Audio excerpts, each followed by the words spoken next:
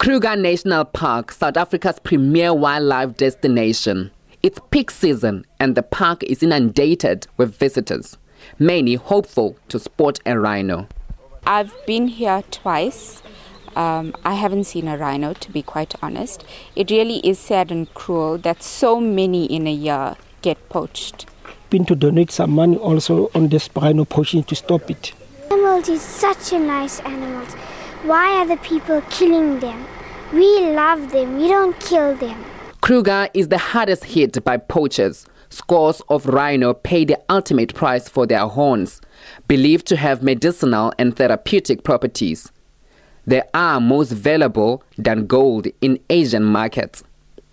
One of the most dramatic measures to curb the scourge is relocating rhino to safer parts of the park, private resorts, and neighboring countries. Uh, continue to implement the integrated plan that we agreed upon. Part of it is translocation of our rhinos from these hotspots in particular. Where we are today is one of the hotspots where rhinos are actually being poached because the poachers are quite close by and they find easy, find easy entry. We're focusing mainly on the younger animals.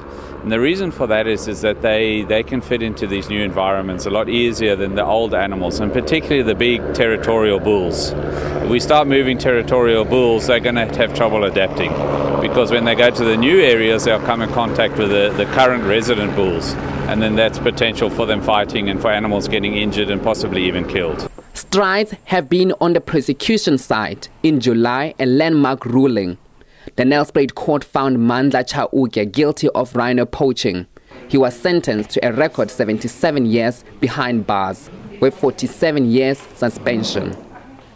By early December, 344 people were arrested in connection with poaching. Most are foreign nationals and remain in custody. We ask four things of the government. No bail for suspected rhino poachers, especially those that are not South African citizens.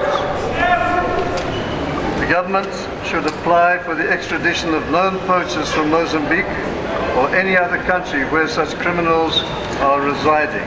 Poachers knows no boundaries. A black rhino and her calf have been killed in Namibia.